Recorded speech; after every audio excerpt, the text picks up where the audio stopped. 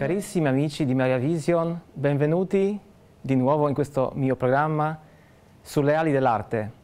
Oggi ho fatto una scommessa con il Signore e vorrei parlarvi liberamente, senza, senza scritti, senza carta, senza testi, tranne una eccezione che vi, vi, dirò a, fra poco, eh, di una poesia che ho scritto. Ma vorrei proprio che cominciamo questo, questo percorso, questo percorso non solo scolastico, è anche un percorso di fede, un, un percorso che riguarda l'arte ma riguarda anche l'anima. Oggi vorrei parlarvi di come, di come, cominciare a fare un dipinto. Allora, ehm, penso che sua scuola lo dice, ma io penso che qualsiasi lavoro che lo, lo compiamo, vogliamo che il Signore ci, ci, ci, ci stia con noi, con, eh, ci dà un aiuto, il suo sostegno L'importante è che ogni lavoro che cominciamo facciamo un segno di croce, anche perché qui parliamo di un lavoro, parliamo, puntiamo in alto, facciamo l'arte sacra, quindi un'arte che deve sollevare le anime al Signore, un'arte un che, che, deve suscitare in, anche in chi guarda quello che facciamo un qualcosa di sublime, qualcosa che, che, che ci mette in dialogo con, con, Gesù e con Dio.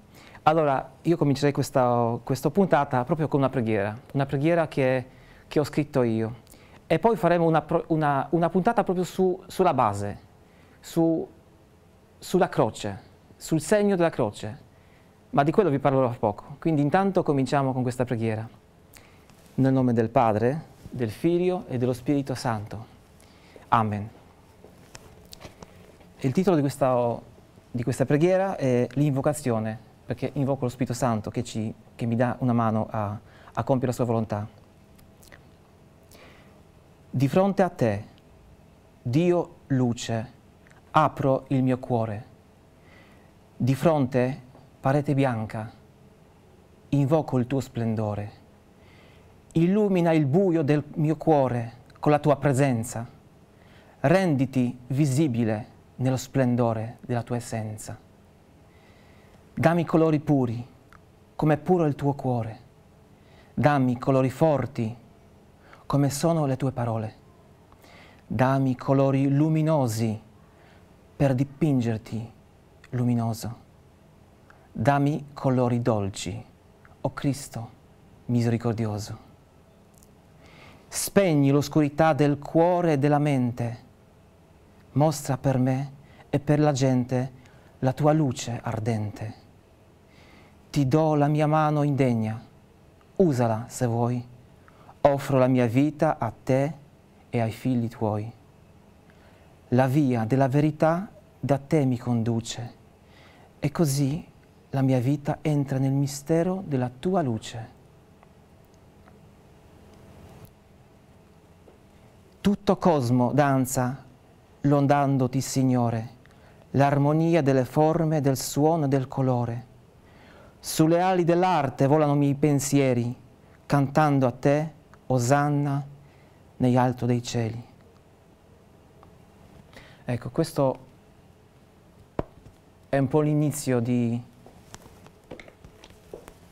di, ogni lavoro, di ogni, ogni invocazione che faccio davanti a una tela bianca, davanti a una parete, davanti anche a questo programma che per me è stato una scommessa, perché non pensate che sia facile per me parlare di queste cose così, così intime, così così anche sublimi che non è facile parlare di fronte a un pubblico, sono cose che magari si confidano con gli amici, ma io vorrei che in questo programma noi diventiamo veramente amici. Intanto avete avuto possibilità di vedere alcune cose che ho già fatto, di conoscermi come persona e io spero adesso entrare ancora in più in sintonia con voi, un rapporto di amicizia. Spero che, di non deludere il Signore in questa puntata e anche a quell'altra che Lui vuole che io le faccio per, per voi. Allora, torniamo al discorso iniziale. Ho parlato del segno della croce che è importante, è importante per, per entrare in sintonia con il Signore, con lo Spirito Santo, con Dio. Eh, allora, come affrontare un, un, dipinto? Come affrontare una tela, una tela che, che deve portare a Lui? Un pezzo di tessuto che deve diventare un, un'apertura a un mondo, un mondo misterioso, un mondo sublime, un mondo che, che è nascosto nel nostro cuore, ecco la croce, la croce che è una chiave, è una chiave d'accesso in paradiso. Gesù ha portato la croce perché voleva portarci tutti da Lui, tutti con Lui, da suo Padre. Allora la tela, che è una pagina bianca, una tabula rasa, se vogliamo, può, può essere una, una porta, una porta d'accesso. La composizione di un quadro normalmente è basata su una, su una simmetria, su, una, su un asse, se vogliamo. Ma non solo di un quadro, pensate ai progetti architettonici, pensate alle chiese, le bellissime cattedrali di tutti i tempi hanno una pianta, una struttura. Ecco, la struttura di un quadro, di questo quadro, è una struttura di un quadro in forma di croce. Questo quadrato, che è una forma molto interessante, una forma perfetta se vogliamo, una forma che presenta anche molte cose, diverse simbologie, ha diversi aspetti, ma a me mi è rimasto il significato quello del, del Rinascimento, la, la, il quadrato che, che, era una forma che doveva in qualche modo rappresentare l'universo e anche l'uomo inserito in questo universo. Come sappiamo abbiamo quattro punti cardinali ed ecco qua una, un asse, facciamo prima un asse, un asse che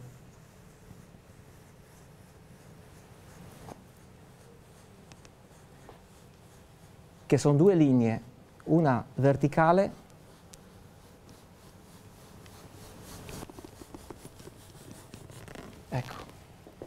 e una orizzontale.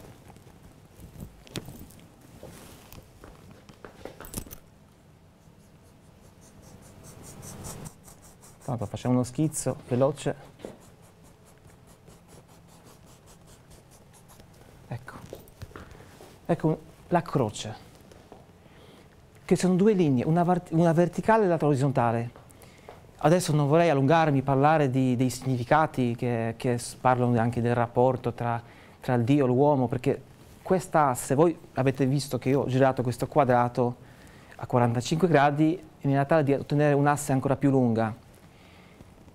Ma c'è un altro motivo perché l'ho spostata. Eh, se vedete, qui ci sono due triangoli anche, no? Due due figure triangolari, che sono due triangoli rettangoli, che se vogliamo, perché sapete che il Dio Padre no? eh, tante volte si rappresenta anche come, eh, come simbolo, come dietro le spalle, tanto spesso c'è un triangolo, poi questo rappresenta anche la Santissima Trinità, anche tante altre cose. Però io voglio parlare tra, tra, del rapporto tra l'uomo e Dio e quindi una preghiera, un, un dono che Dio dà all'uomo e l'uomo che lo, lo, riceve e lo, lo, fa ritornare al Signore come una lode. E infatti l'arte è, è, proprio questo, è, un, è un, non solo un ringraziare ai doni che il Signore ci dà, ma anche una lode, una lode a Lui, qualcosa che, che deve tornare. Lui ci offre tanto, ma noi non lo, non lo percepiamo come nostro, perché non è di nostra proprietà. Quindi tutti i doni, tutto quello che il Signore ci dà, torna da Lui, vuole tornare da Lui perché non appartiene a noi. I nostri talenti, le nostre capacità, nos la, il nostro cuore non appartiene solo a noi, perché quando noi veramente viviamo la, la fede, noi non partiamo più da noi, partiamo a, a, Lui e quindi vogliamo con tutta la nostra vita portare la lode a, al Signore. Allora, torniamo a questo schizzo, no? questa asse che sappiamo benissimo in matematica che questa è una, una base, no? eh, proprio il punto, un punto zero, un punto da dove parte tutto e poi abbiamo queste, queste due, ma qui sono, anche, sono quattro di, direzioni dove la linea praticamente continua, eh, non ha un limite, è infinita. Questa linea, questo, questa forma, ci, ci, già di per sé ci, ci indica, indica che c'è un'origine, c'è un punto zero, ma non c'è limite, non c'è limite, c'è un punto di partenza, ma se noi perdiamo, pensiamo anche alla nostra vita, c'è un punto in cui noi siamo, siamo, siamo concepiti, cominciamo a esistere Se noi pensiamo all'universo, l'universo ha un punto di, di principio, un, un, inizio. Gli scienziati dicono, parlano di Big Bang, di, di un inizio di, tutto, che è un'evoluzione, un'espansione. Eh, in queste linee noi già possiamo percepire che c'è un significato in più, quindi oltre una, un asse di una, uno spazio da, da, da, dipingere, questo è già, un, già di per sé un significato. Come vedete, alla base di un'opera ci sta, sotto sotto ci sta anche un significato maggiore. Vi dicevo prima delle cattedrali, dicevo dell'architettura che tante volte come base ci mette qualche figura, qualcosa di, di, importante. Tante volte le chiese nostre sono in forma della croce, ma pensate alle chiese greche, c'è la croce proprio greca, no? quella con tutti i lati uguali. Ma c'è un'altra descrizione di un tempio che lo troviamo anche in Antico Testamento, un tempio che poi ritorna nell'Apocalisse, un, una città santa, Gerusalemme celeste che, che scende dal cielo, no? come la sposa. Questa descrizione di San Giovanni di Apocalisse del, 21, del ventunesimo eh, capitolo è, è fantastica perché, perché, poi ci mette anche una visione della, del nostro punto d'arrivo. Eh, allora questo dipinto avrà tutte queste cose che vi ho detto fino adesso perché parla proprio di, di questa origine e questo ritornare al Signore. Ecco, vi ho parlato del, dell'asse, potremmo parlare all'infinito sulla croce, sul significato della croce, ma anche dal punto di vista simbolico, ma io penso che più che altro su, non vorrei soffermarmi sulle simbologie perché potrebbe anche diventare diciamo, un, po', un po' poco interessante. Se uno vuole fare una ricerca ce ne sono tante spiegazioni, tante cose. Ma torniamo al nostro, al nostro spazio bianco che dobbiamo riempire con qualcosa di importante. Io ho portato questo, questo, questa, questa, idea di, di questo dipinto perché lo ritengo una cosa importante come punto di partenza. Allora, la pittura, vi ho parlato l'altra volta, la pittura di tante cose, ma non vi ho parlato dei limiti della pittura, perché la pittura, come sappiamo, gioca in due dimensioni, infatti la pittura è bidimensionale. Se uno dipinge utilizzando delle tecniche, delle, delle, della capacità per, per eh, illudere la terza dimensione, è semplicemente dipinta, perché in realtà la tela è sempre, ha due dimensioni, e la tela, la pittura è piatta, non è come scultura che è, è diciamo, in 3D. La pittura è piatta e questo è un grande problema della pittura, ma è un problema che poi si risolve. Pensate alla ricerca sulla, eh, sulla terza dimensione da, da, secoli, da secoli che, che l'uomo, che, che, soprattutto nel, nel, Rinascimento, si sono fatti anche prima, si sono fatti grandi studi, già Giotto intuitiva, intuitivamente parlava della prospettiva, no? faceva queste, queste, queste architetture quasi, quasi, quasi, corrette dal punto di vista eh, di prospettiva, ma poi nel Rinascimento poi si è, si è capito come, come funziona veramente la, la prospettiva. Ecco, e poi si, si è cercato di, di, di dipingere no? utilizzando dei, delle architetture, quindi la terza dimensione della pittura è raggiungibile ovviamente con, con come la, la, la, tratteremo, la tela e come sappiamo usare anche pennello e tutto il resto. Però eh, rima, rimane, rimane il problema sempre della pittura che è piatta, quindi gli manca la terza dimensione. Se voi pensate alla terza dimensione, la pittura, ecco, se abbiamo quali sono le, le le, le due dimensioni della, della tela sono ovviamente larghezza e altezza, manca la profondità, manca questo, questo, questa linea che poi potrebbe costruirci qualcosa di, di profondo, no? Ma intanto segniamo, io vorrei anche segnarvi queste linee,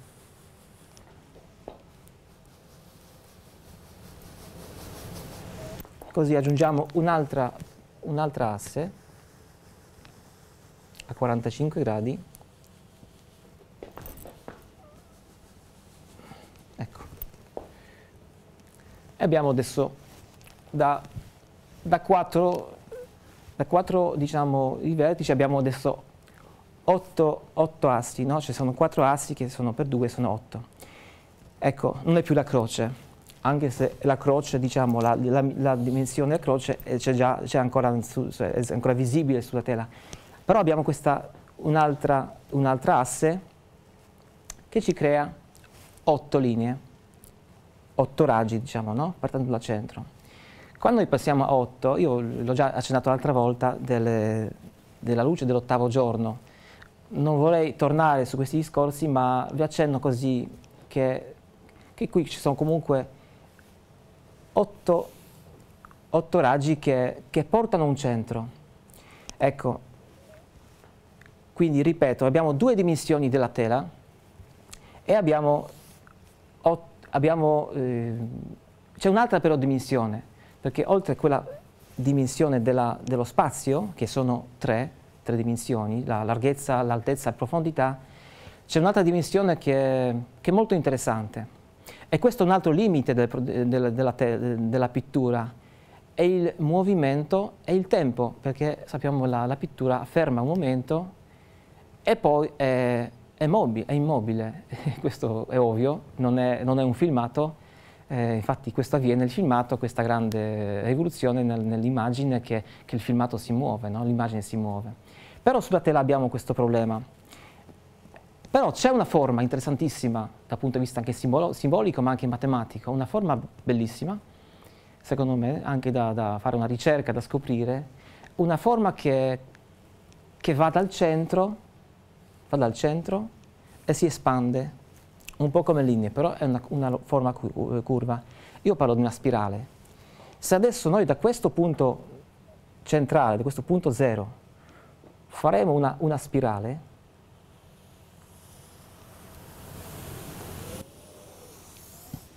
ecco,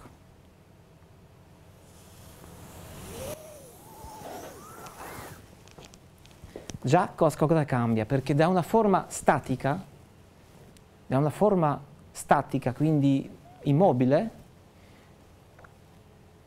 cominciamo a percepire il movimento, perché la spirale, la sua caratteristica, è quella che, che porta dal centro e si espande, parte da un punto zero e si espande, ma si espande all'infinito. Pensate che la, la, spirale è una forma incredibile, perché se noi ci, ci immaginiamo che questa spirale che larga, si allarga costantemente, sempre in maniera costante, uguale, quindi sempre più larga,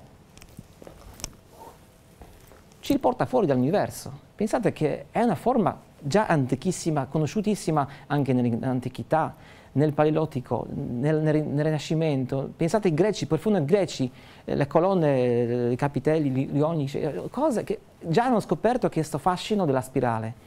Ma la cosa bella che anche il cristianesimo ha capito questo, questo concetto. Questo entrare nel profondo è, è un'espansione dal centro verso l'esterno. Sant'Agostino definì questa, questa forma della spirale come una forma della contemplazione. Per questo ve l'ho proposto oggi, perché qui abbiamo già tanti simboli.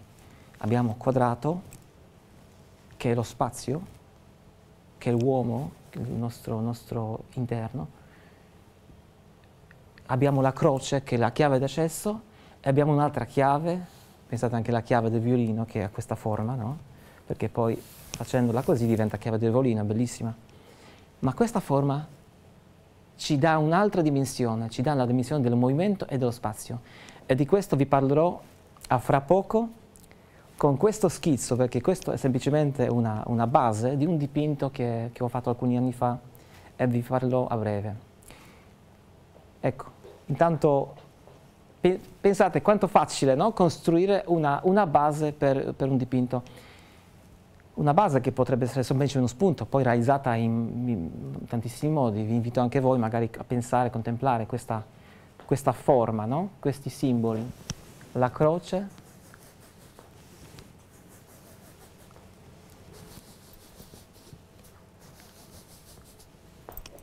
Ecco. È la spirale che porta verso, verso il centro, verso Dio.